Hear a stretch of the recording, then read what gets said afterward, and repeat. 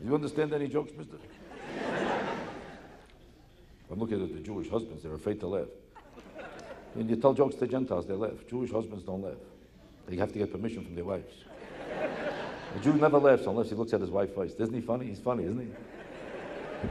He's not, he's not, he's not. I thought he was, I thought he was. It's up to you, it's up to you. It so happens that I like him. I don't, I thought I did, I thought I did. They don't even order food without permission from their wives. Before a Jew orders food, they always look at her first. Do I like this? it so happens that I like it. I don't. I thought I did. I thought I did. It's up to you. It's up to you. Jews have to get permission for everything they do. Because the wife is the boss.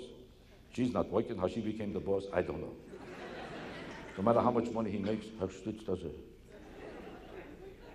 They can't even walk around in their own house. You ever see a Jew in his own house? He paid a half a million dollars for it, and he's the only one who can walk around in it. No matter where he goes, he's in the wrong place. He's in the wrong place. You ever see a Jew in the right place at his own house? Never.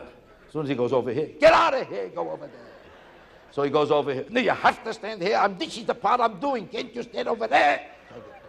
Excuse me, I'll stand over there. He can't even go to the toilet. I'm going to the toilet. Not now, you can't go now. I just did the toilet. You couldn't go yesterday. Son of a-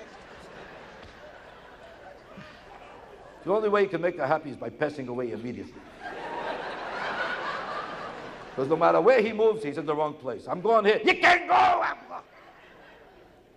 He's afraid to touch anything. You ever see a Jew could touch anything in his own house? No matter what he touches, it's for the guests. It's for the guests. This is not for you. It's for the guests.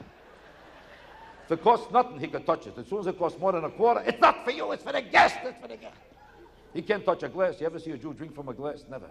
As soon as he touches, you got the wrong glass. It's for the a- every Jew you meet is walking around with a paper cup in his own house. He looks like a homeless man from a shelter someplace.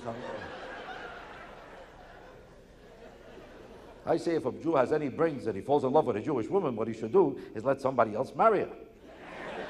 then you come to the house as a guest. You can do whatever you want.